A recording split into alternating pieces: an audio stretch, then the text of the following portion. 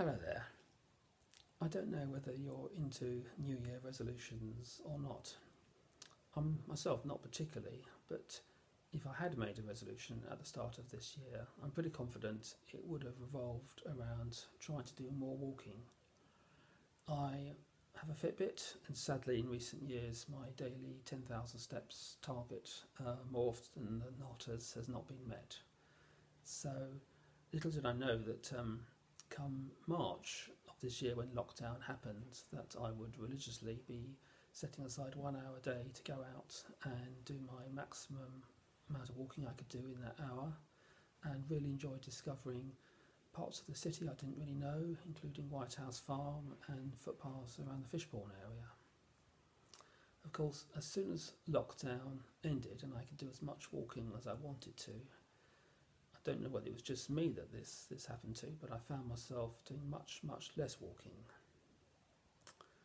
But in the passage from Galatians that we've had read to us, Paul uses the metaphor of walking by the Spirit and keeping in step with the Spirit. That metaphor to me seems very apt.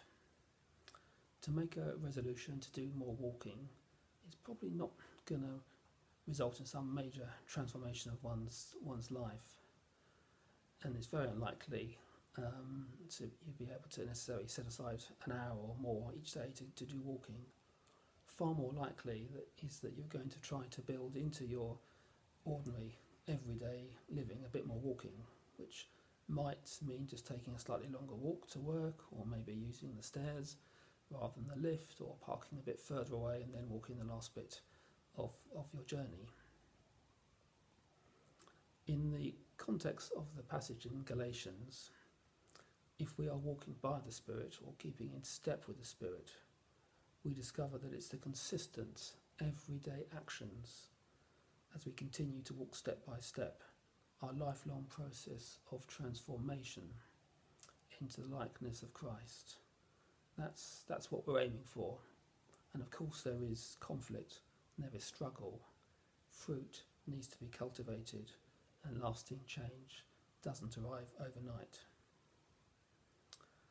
So I say to myself, unlike some big resolution to do an awful lot less of that and a lot more of this, instead, why don't I walk more in the Spirit? Be more attentive to the voice of God in the everyday aspects of living as a Christian. It's a lifelong process, of course, of transformation that never stops. But would that be true of me and of you as we seek to walk more in step with the Spirit? Thank you.